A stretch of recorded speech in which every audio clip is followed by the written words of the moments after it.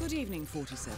The militia has released a hostage tape outing the existence of Providence to the world. This was a fatal mistake, and our analysts are tracing its origin as we speak.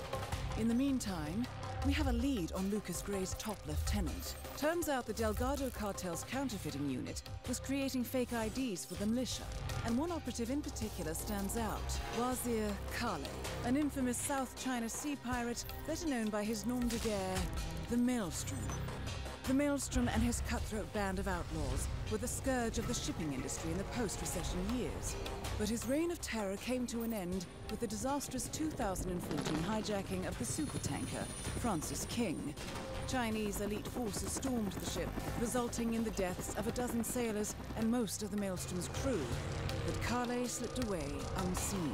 The Maelstrom's connection to Gray is unknown, but we believe it was he who carried out the audacious killing of a Providence CEO in Shanghai, along with two reactivated members of his old pirate gang, Vanya Shah, a shady figure in Mumbai's criminal underworld, and Dawood Rangan, the gang's old cashier turned dodgy movie producer.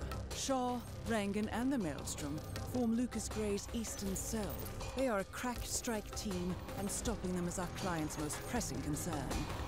Unfortunately, the elusive Maelstrom appears to have vanished into the seedy underbelly of Mumbai, the cradle of his criminal legend, and no one knows his whereabouts or what he currently looks like. So, a bandit queen, a showbiz charlatan, and one certifiable ghost. I shall leave you to prepare.